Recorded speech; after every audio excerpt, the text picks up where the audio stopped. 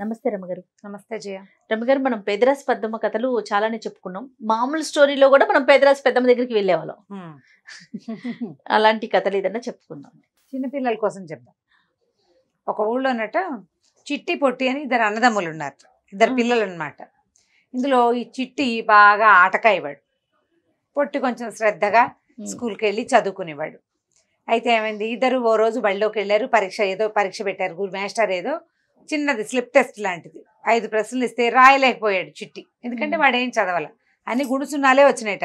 గుణసున్నా అంటే జీరోలు వచ్చినాయి అనమాట అయితే వీడేమన్నాడు బాబోయ్ అవన్నీ ఎవరు రాస్తారు? అన్ని గుణసున్నాలే వచ్చినాయి అమ్మ తంతుందేమోనని చెప్పాడు.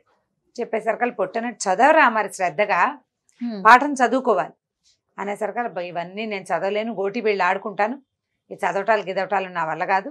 హాయిగా అన్నాడు. అనేసరికి మరి బళ్ళోకి వెళ్ళి అసలు మార్కులు రాకుండా ప్రతిసారి గుండు సున్నాలు వస్తే నాన్న బళ్ళు మానిపించేసి గొడ్లు తోలుస్తాడు నీతోటి.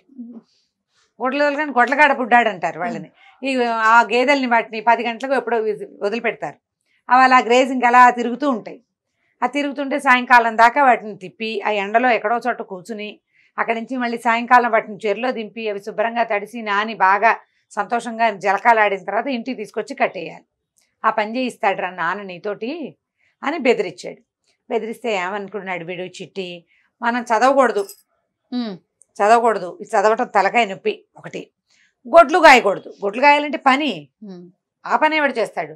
ఈ రెండు కాకుండా ఏదైనా నేను చదవకుండానే నాకు మార్కులు వచ్చేసే మార్గం చూడాలనుకున్నాడు. ఆ ఊళ్ళోనట ఒక పేదరాశి పెద్దమ్మ ఉంది. సరే వీడు ఏం చేశాడు? ఆ పేదరాశి పెద్దమ్మ దగ్గరికి వెళ్ళాడు. పెద్దమ్మ పెద్దమ్మ నేను అస్సలు చదవలేను నాకు చాలా తలనొప్పి వస్తుంది. నేను చదవకపోయినా సరే నాకు మార్కులు వచ్చే విధానం చెప్పమన్నాడు. అనేసరికి ఆవిడేం చేసింది ఎరా నువ్వు చదువుకోవచ్చు కదరా నేను చదువుకోలేను పెద్దమ్మ నా వల్ల కాదు. మార్కులు రాకపోతే మా నాన్న గొడ్లు తోలిస్తాడు నా చేత. గొడ్ల కాపరం చేస్తాడు.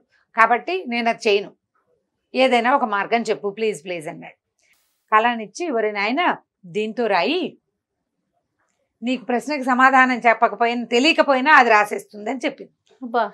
చూస్తే ఈ పెన్ను మామూలు పెన్నే అందులో ఏం విశేషం లేదు. సరే పెద్దరాసి పెద్దమ్మంటే చాలా నమ్ముతారు ఆవిడ్ని. ఈ పెన్ను పుచ్చుకుని ఇంటికి వెళ్ళాడు ఒరే పొట్టి పొట్టి ఏదైనా ఒక ప్రశ్న అడగరా నేను రాస్తానన్నట్ట. నీకేమొచ్చు నువ్వేం చదవలేదు చావలేదు కదా అంటే కాదు కాదు నువ్వు చెప్పు నేను రాస్తానన్నాడు. అయితే బుద్ధుడు వాళ్ళ అమ్మా నాన్న పేరేమిటి అన్నాడు. బుద్ధుడు వాళ్ళ అమ్మా నాన్న పేరు రాసేసాడు వీడు. వీడికి రాదు పెన్ను రాసేస్తోంది. ఇంకో ప్రశ్న ఇంకో ప్రశ్న. ఏ ప్రశ్న అడిగినా వీడు పెన్ను పుచ్చుకుంటే చాలా ఆటోమేటిక్గా అది రాసేస్తుంది. వీడు చేయలేకుంటూ వెళ్ళిపోతుంది అది. ఇవన్నీ చూసేసరికల్లా పోయి ఆశ్చర్యపడి ఊరిని భలే దొరికిందిరా నీకు. పద అయితే రేపు బళ్ళోకి వెళ్దాం అన్నాడు. బళ్ళో మేస్టారు సమాధానాలు చే ఏదో ప్రశ్నలు అడిగాడు ఆ పూట పరీక్ష అయితే ఏం లేదు. క్లాస్లోనే కాలక్షేపం అయిపోయింది. అయ్యో ఇవాళ పరీక్ష లేదు. నిన్న రాసిన పరీక్షలో గుండు సున్నాలు వచ్చిన వాడు ఇవాళ మళ్ళీ పరీక్ష పెట్టమంటే మాస్టర్ ఒప్పుకుంటాడా? ఒప్పుకో ఒప్పుకోడు. పోనీలే ఈ లోపల మనకి ప్రాక్టీస్ అవుతుందని ఇంటికి వెళ్ళాక ఒరే ఇట్లా చిన్న చిన్నవి కాదు పెద్ద ప్రశ్న పెద్ద సమాధానం రాయాల్సిన ప్రశ్న. నీకు కూడా సరిగ్గా సమాధానం తెలియని ప్రశ్నని అడగమన్నాడు. అడగ అడగమనేసరికి పొట్టనాడు బాగా ఆలోచించి సోషల్ స్టడీస్ ఉంటుంది కదా సాంఘిక శాస్త్రం. సాంఘిక శాస్త్రం సోషల్లో మంచి ప్రశ్న ఉంటుందిరా. హిందూ దేశం గురించి రాయండి అన్నాడు. అనగానే వీడు మొదలు పెట్టాడు ఒక నోట్స్లో. ఈ రాస్తూనే ఉంది ఆ పెన్ను. ఆ పుస్తకం అయిపోయింది. బల్ల మీద రాసేసాడు మేజా మీద రాసేసాడు కుర్చీ మీద రాసేస్తోంది. వీడి చెయ్యిని వీడితో పాటు లాక్కెళ్ళిపోతాం చివరి గోడ దాకా లాక్కెళ్ళిపోయింది. హిందూ దేశం గురించి రాయాలంటే చిన్న మ్యాటర్ ఉండదు కదా? అనంతమైన విషయం ఉంటుంది. వీడి టెక్స్ట్ బుక్లో ఓ పేజీ పాఠం ఉందనుకో. అందులోంచి సినాంసిస్ ఒక ఐదు పది వాక్యాలు మాస్టారో టీచర్ అమ్మో చెప్తారు. ఆ పది వాక్యాలు చదువుకు రాస్తే సరిపోతుంది. నువ్వు హిందూ దేశం గురించి రాయనంటే వీడికి తెలియపోయినా పెన్నుకు తెలుసు. ఇంకా అది అన్ని చోట్లకి లాక్కెళ్ళిపోయింది అని నేలంతా రాసేసాడు గోడంతా గోడని ఈ చివరి నుంచి ఆ చివరికి రాయాలంటే గోడ. పైదాకా వాడిని పెన్ను లాక్కెళ్ళిపోయింది. లవో దిబోమన్నాడు ఎంత విదిలించుకున్నా పెన్ను వదిలిపెట్టలే వాడిని. అది రాసేస్తోంది ఆ రాయటానికి వీడు చెయ్యి ఉండాలి దాని మీద. చేయలేందే రాయదు అది. ఆ చెయ్యి వదలదు. వాడు అరిచరిచి కేకలు పెట్టాడు ఆ పొట్టిని పిలిచాడు ఒరే ఒరే వదిలించరా నన్నంటే. అదేమిట్రా? నేను నువ్వు నువ్వే రాస్తున్నావని నేను భావించాను. పెన్ను రాస్తానంటే అవునరా. పెదరాసు పెద్దమ్మ దగ్గరికి వెళ్ళాను. ఆవిడని అడిగితే ఆవిడేమో ఈ పెన్ను ఇచ్చింది ఇదేదో మాయకాలం. పొద్దు నుంచి రాస్తూనే ఉంది. ఇప్పుడు ఎప్పటి నుంచో పొద్దు నుంచి ప్రశ్నలకు సమాధానాలు రాసింది. మధ్యాహ్నం స్కూల్లో ఏదో రాశాను అదేదో రాసింది. ఇప్పుడు నువ్వు అడిగిన ప్రశ్నకి సమాధానం నాకు తెలియదు కానీ దానికి తెలుసు. అది రాస్తానే అది రాసి బారేస్తుంది చేతులు లాక్కుపోతున్నాయి గోడ మీద వేళ్ళాడిపోతున్నాడు వాడు. మెడ నొప్పి వచ్చేస్తుంది కాళ్ళ నొప్పులు వచ్చేస్తున్నాయి. లాభో దీపం అంటే ప్రశ్నకి సమాధానం నాకు తెలియదు అని ఒప్పుకుంటే వదిలేస్తుందేమోరా అన్నట్టు. అన్నాడు ఈ ప్రశ్నకి సమాధానం తెలీదు నన్ను వదిలేవా అనగానే డామ్ పడిపోయాడు పైనుంచి కిందికి. పెన్ను కూడా వచ్చి వీడి పక్కన పడింది. పడేసరికల్లా ఏం చేస్తాడు? ఆ పెన్ను చేత్తో పుచ్చుకుని పెదరాజు పెద్దమ్మ దగ్గరికి వెళ్ళారు ఇద్దరు. పెద్దమ్మ పెద్దమ్మ నన్ను క్షమించు ఈ పెన్ను తీసేసుకో అన్నాడు. అనేసరికల్ పెద్దమ్మంది అది కాదురా నువ్వేం అడిగావు? నీకు రాకపోయినా నీకు మార్కులు వచ్చేలాంటి సాధనం కావాలి.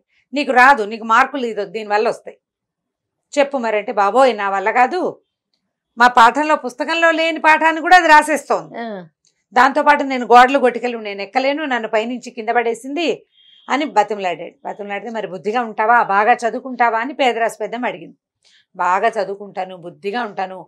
పొట్టి ఎలా చదువుతాడో నేను కూడా అలాగే వాడితో పాటు పొద్దున్నే లేచి చదువుకుంటానంటే ఆవిడ ఏం చేసింది? ఆ పెన్ పెన్నుని పుచ్చుకుని అటు ఇటు కదిపి వాడి చేతిలో పెట్టింది.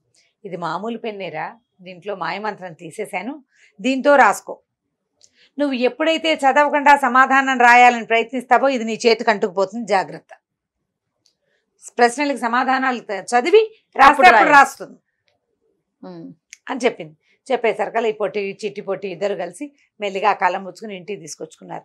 ఆ తర్వాత రోజు వీడు చదవటం. చక్కగా చదవటం మొదలుపెట్టాడు. అక్కడి నుంచి అమ్మ నాకు ప్రైవేట్ పెట్టించు నాకు కొన్ని ప్రశ్నలు రావని ఓ ప్రైవేట్ మాస్టర్ని కూడా కుదుర్చుకుని మళ్ళీ పాత పాఠాలన్నీ కూడా చదువుకున్నాడు. పెన్ను చక్కగా రాస్తుంది. గుండ్రంగా రాయిస్తుంది. అంతే.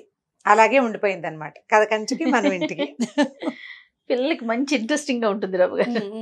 మనకి పిల్ల hand writing neat hand writing వస్తుందని రైటింగ్ బాగుంటుందని పిల్లలు రకరకాల పెన్నులు పెన్సిళ్ళు కొనిపిస్తారు. అది సన్నగా బాగా రాస్తుంది లేదా ఇది మొద్దుగా బాగా రాస్తుంది. బాగా రాత మన దగ్గర ఉండాలి. పెన్నులో ఏముంటుంది? అంతేగా? పెన్నులో ఏముండదు. పిల్లలు మాత్రం చాలా మంది అలా అడుగుతారు. మా కృష్ణ ఉన్నాడు కదా.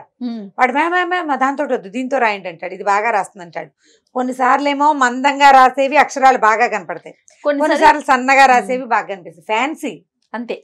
అంతే పిల్లల్లోనే ఉంటుంది. అసలు సంగతి మనలో ఉంటుంది కానీ పెన్నుల్లో పెన్సిళ్ళలో ఏమీ ఉండదు.